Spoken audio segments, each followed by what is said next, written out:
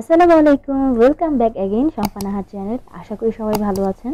তো আজকের এপিসোডে আমি আপনাদের তৈরি করে দেখাবো পুরান ঢাকার বিফ তেহারি। এটা শোনার পরে জিভে জল চলে আসলো না? হ্যাঁ আমারও পুরান ঢাকার বিফ তেহারিটা খুবই ভালো লাগে। তো আজকে আমি আপনাদের পুরান ঢাকার স্টাইলে তেহারি তৈরি করে দেখাবো।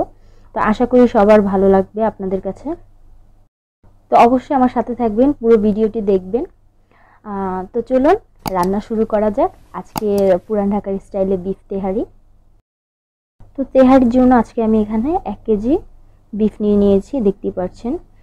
আর বিফগুলো আমি ছোট ছোট টুকরা করে কেটে নিয়েছি। আপনারা এইভাবে নেবেন, কারণ তেহারিতে তো ছোট ছোট কিউব করা মাংসটাই ভালো লাগে। আর আজকের ভিডিওটা একটু বড় হবে, কারণ আমি ডিটেলসে আপনাদের দেখাবো। তো আশা করি আপনারা পুরো ভিডিওটি দেখবেন।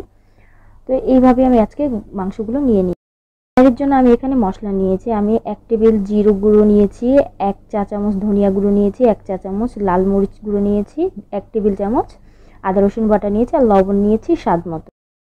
এখানে আমি হাফ কাপ টক দই নিয়েছি, এক কাপ সরিষার তেল নিয়েছি। অবশ্যই আপনারা সরিষার তেল ব্যবহার করবেন। আর এখানে আমি কিছু মশলা নিয়েছি, একটি তেজপাতা, একটি স্টার মশলা, ছয়টি এলাচ, একটি বড় এলাচ, দুটি দারুচিনি, কয়েকটি কালো গোলমরিচ, কয়েকটি লবঙ্গ আর একটি জায়ফল। এগুলো আমি ব্লেন্ড করে নিয়েছি, আপনারা দেখতেই পাচ্ছেন তো আমার এখানে এক টেবিল চামচ হয়েছে। তারপরে এখন মশলাগুলো আমি দিয়ে দিয়েছি মাংসে। আর সব মশলাগুলো আমি এক এক করে দিয়ে দেবো। আর আপনারা যদি একটু ঝাল কম খেতে পছন্দ করেন, তো সেই ব্লেন্ড করা মশলাটা আপনারা একটু কম দেবেন। এক টেবিল চামচ না দিয়ে আমি পুরো এক টেবিল চামচ দিয়েছি। একটু স্পাইসি হয়, তো আপনারা কমও দিতে পারেন চাইলে। আর টক দই দিয়ে দিলাম আমি এখানে। আর আজকে রান্নাটা অবশ্যই সরিষার তেল দিয়ে করবেন। তো এখানে এখন আমি এক টেবিল চামচ সরিষার তেল দিলাম। দিয়ে এগুলো ভালো করে মিক্সড করে নিতে হবে। আমার মাংসটা মিক্স করা হয়ে গিয়েছে। এখন এটা আমরা র্যাপ করে রেখে দিব কিংবা ঢাকনা দিয়ে ঢেকে ফ্রিজে চার পাঁচ ঘণ্টা রেখে দেবো। আপনাদের হাতে সময় কম থাকলে মিনিমাম এটা আপনারা এক ঘণ্টা কি দুই ঘণ্টা রেখে দিবেন। যদি ফ্রিজে রেখে দেন তো এটা জুসি হবে। আর মাংসটা পুরোপুরিভাবে মেরিনেট হবে। জুসি হলে এটার তেহারিটা আরও বেশি ভালো হবে। তো এখন এটা আমি চার পাঁচ ঘণ্টার জন্য রেখে দেব আমি আরও নিয়েছি এখানে কিছু কাঁচামরিচ আট দশ পিস নিয়েছি। আমি কয়েকটি কাঁচামরিচ দুই ফালি করে নিয়েছি, কয়েকটি আলাম রেখেছি। তো আরও এখানে আমি নিয়েছি এক কাপ পেঁয়াজ কুচি। পেঁয়াজ এক কাপ নিয়েছি, আপনারা এক কাপ পেঁয়াজ কুচি নেবেন। চুলায় আমি একটি কড়াইতে আমাদের সেই সরিষার তেলগুলো দিয়ে দিলাম। এখানে এক টেবিল চামচ কম, এক কাপ সরিষার তেল আছে। তারপরে এখানে আমি সেই পেঁয়াজ কুচিগুলো দিয়ে দিলাম। পেঁয়াজগুলো এখন এখানে হালকা নরম করে ভেজে নিতে হবে। একেবারে পুড়ে ফেলব না, নরম করে ভেজে নিতে হবে। পেঁয়াজটা ভাজা হয়ে গিয়েছে। এখন এখানে আমি সেই অর্ধেক করে কেটে রাখা কাঁচামরিচগুলো দিয়ে দিলাম। আপনারা চাইলে কিছুটা কম দিতে পারেন আপনাদের ঝাল বুঝে। তারপরে এখানে আমি সেই আমাদের ম্যারিনেট করা মাংসটা দিয়ে দিব। মাংস ম্যারিনেট করে করা মাংসটা এখানে দিয়ে একটু নেড়ে চেড়ে আমাদের পাঁচ দশ মিনিট এটা কষিয়ে নিতে হবে। তো আমাদের মাংসটা কষানো হয়ে গিয়েছে, দেখতেই পারছেন। তো মাংস থেকে অনেকখানি পানিও উঠে গিয়েছে। আপনাদের যদি পানি না ওঠে, তাহলে কিছু পানি অ্যাড করবেন। আর যদি মাংস ফ্রেশ হয়, সেক্ষেত্রে পানি উঠবে, আর পানি অ্যাড করার দরকার নেই। প্রয়োজন মতো বুঝে অ্যাড করে নেবেন। মাংসটা এখন ঢেকে আমি দশ মিনিট রান্না করে নেব। তো দশ মিনিট পরে আমি ঢাকনাটা তুলে দিলাম। মাংসটা মোটামুটি সেদ্ধ হয়ে গিয়েছে। আজকে মাংসটা আমি পঁয়ত্রিশ মিনিট রান্না, পঁয়ত্রিশ, চল্লিশ মিনিট রান্না করব। তো এর কম সময় লাগতে পারে, আপনারা একটু দেখে চেক করে নেবেন। তো দশ মিনিট পরে আমি ঢাকনা উঠিয়ে নেড়ে দিলাম। এখন আবার ঢেকে রান্না করব আমি।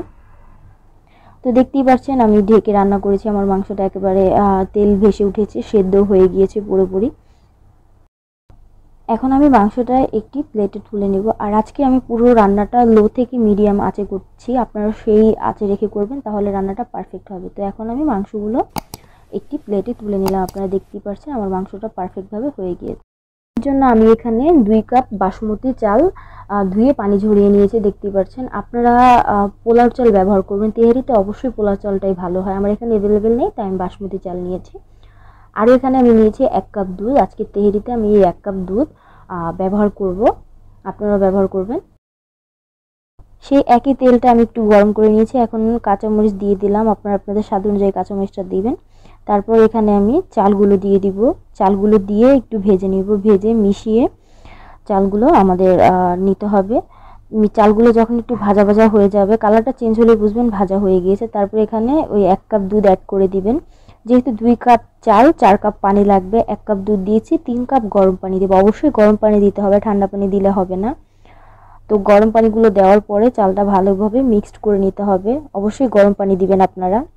তো চালটা ভালোভাবে মিক্সড করে নেওয়ার পরে আমাদের এখানে লবণ অ্যাড করতে হবে। তো আমি তখন মাংসে যে লবণটা দিয়েছি সেটা শুধু মাংসের জন্য ছিল। এখন আমি এখানে চালে লবণ দিয়ে দিব। তো এই লবণটা আমি দিচ্ছি আর আমার স্বাদ অনুযায়ী। আর আপনারা এখানে লবণ দিবেন একটু বেশি হয় সেই পরিমাণ করে দিবেন। একটু বেশি হলে তারপরে এটা রান্না হওয়ার পরে ঠিক হবে। তো দেখতেই পারছেন আমার চালটা বলক উঠে গিয়েছে। তো এখন এখানে আমি সেই আমাদের রান্না করা মাংসটা অ্যাড করে দিব। লবণটা যদি আপনারা এই পর্যায়ে একটু বেশি হয় টেস্ট করে দেখেন, তাহলে রান্নার পরে এটা পারফেক্ট হবে। তো মাংসগুলো আমি দিয়ে দিলাম। মাংসগুলো দিয়ে এখন নেড়ে ভালোভাবে মিক্সড করে নিতে হবে। হালকা হাতে দিবেন, হালকা হাতে নাড়বেন যেন বেশি জোরে নাড়লে এটা আপনাদের চালটা ভেঙে ভেঙে যাবে। তখন আর পোলাওটা ভালো দেখা যাবে না তেহারিটা। তো এখন আমি এটা ঢেকে রান্না করব পানি শুকানো পর্যন্ত। জালটা মিডিয়াম ফ্লেমে আছে আমার লো টু মিডিয়াম ঢাকনাটা এখন তুলে নিচ্ছে। আনুমানিক আট নয় মিনিট পরে যেহেতু আমার চুলার আঁচটা মিডিয়াম টু লো ফ্লেমে ছিল, তো দেখতেই পাচ্ছেন আমাদের পানিটা শুকিয়ে গিয়েছে আর আমাদের তেহারিটাও মোটামুটি সেদ্ধ হয়ে গিয়েছে। আর অনেকটাই ঝরঝরা এখন আপনারা দেখতেই পাচ্ছেন স্ক্রিনে আজকে আমি যে মাপগুলো বলছি, সেই মাপগুলো ফলো করলে আপনাদের তেহারিটা এরকম হবে। এখন আমি আবার তেহারিটা ঢাকনা দিয়ে রান্না করে নেব। পাঁচ সাত মিনিট হয়ে গিয়েছে, আমি এটা লো ফ্লেমে রান্না করে নিয়েছি। আর অনেকেই তাওয়া অ্যাভেলেবেল থাকে না অনেকের কাছে, সেক্ষেত্রে তাওয়া না দিলে সমস্যা নেই। আর আমি যেহেতু ননস্টিক কড়াইতে রান্না করেছি, তো আমার তাওয়ার প্রয়োজন হয়নি। লো ফ্লেমে আপনারা রান্না করতে পারবেন। তো আমার রান্নাটা হয়ে গিয়েছে, দেখতেই পাচ্ছেন আর এখন পোলাওটা কত ঝরঝরা আছে। এখন আমি পরিবেশনে চলে আমার তেহারি বিফ তেহারি, পুরান ঢাকার স্টাইলে বিফ তেহারিটা রান্না হয়ে গিয়েছে। তো এটাতে আমি যে কাঁচামরিচ একটু বেশি দিয়েছি, এটাই হচ্ছে এই পুরান ঢাকার তেহারির বৈশিষ্ট্য, সরিষার তেল আর কাঁচামরিচ। এটা অবশ্যই একটু ঝাল ঝাল হয়। তো আমার রান্নাটা ভালো লাগলে অবশ্যই বাসায় ট্রাই করবেন ফ্যামিলি ফ্রেন্ডসের সাথে শেয়ার করবেন। আর আমার চ্যানেলটা যারা সাবস্ক্রাইব করেছেন, তাদেরকে অনেক ধন্যবাদ। যারা করেননি, তারা এখনই করে দিন।